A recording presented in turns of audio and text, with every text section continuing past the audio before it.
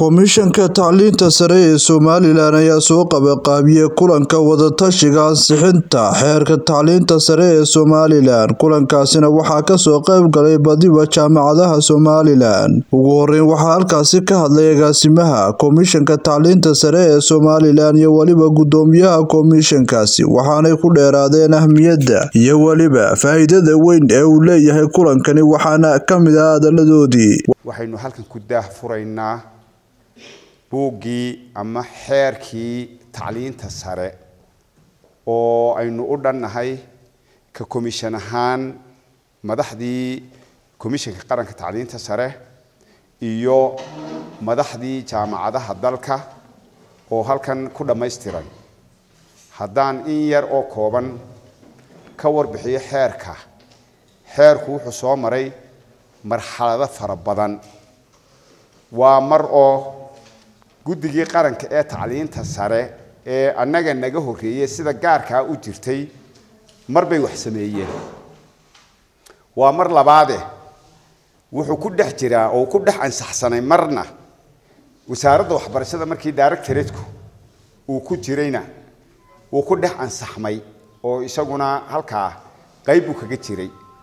Haddiise ay noqotay in komishankii qaranka tacliinta sare la madax banneeyo annaga oo soo dheeganay kiiwii horena wax ka soo qaadanay waxna annagu aanu ku darnay ayaanu waxaanu la kugudboon waxaanu geynay.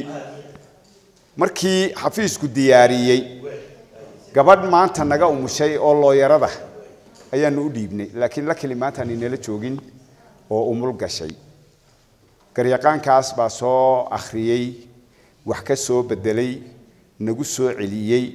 Kadibna xafiis ahaan ayaanu dib u fadhiisannay wixii aanu ku kordhin karaynay iyo wixii aanu muxuu ahaa dee soo qaadan karaynay ayaanu soo qaadannay.